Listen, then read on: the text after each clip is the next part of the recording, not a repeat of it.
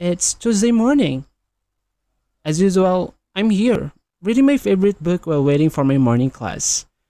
By the way, I'm John Dalida, an IT student of Divine Word College of Laoag. I am here to express and give hope not just to my barangays but also you to cope up with the effects of this pandemic through the art of literature and video making. So, here it is.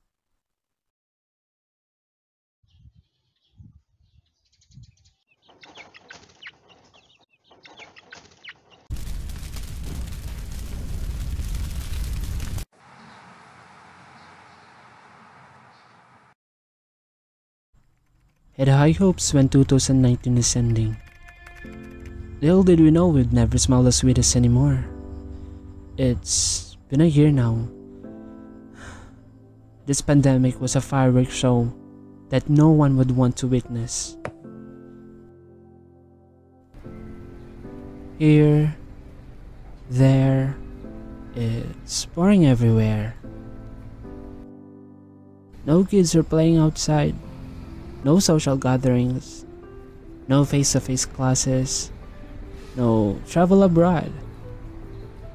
Beautiful faces are being hidden, no hugs and kisses, no physical interaction, just isolation. Everything is limited.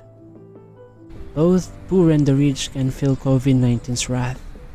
It's chaotic. Everyone can suffer in its path.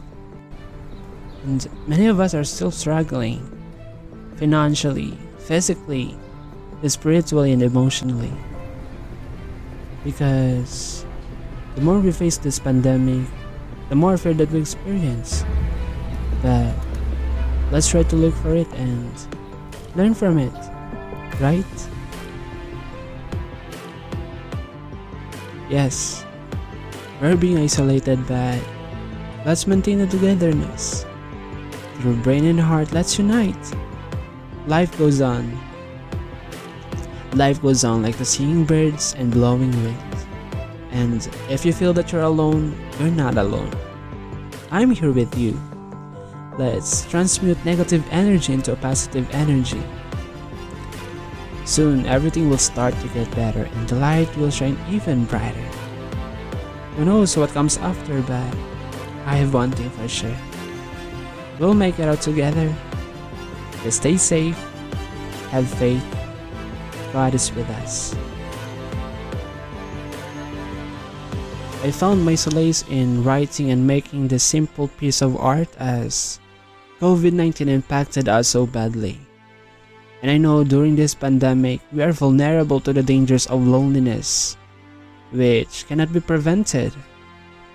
That is why, as a student, I'm here to help to make you realize good things you've never once thought before, to make you find yourself, and to make you feel that you're not alone.